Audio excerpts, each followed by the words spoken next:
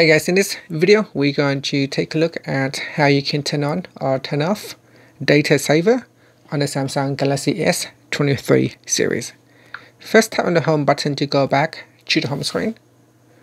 From the home screen, swipe down at the top and tap on the settings icon.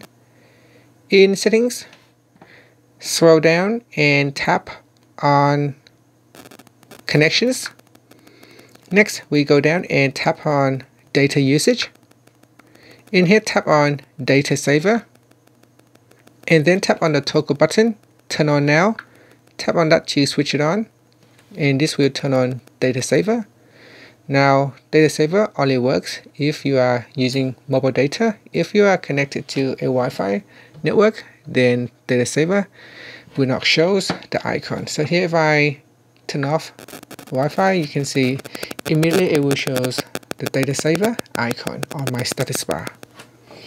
And that's it. So that is how you can turn on or turn off data saver on the Galaxy S23 series. Finally, you can tap on the home button to go back to the home screen. Thank you for watching this video. Please subscribe to my channel for more videos.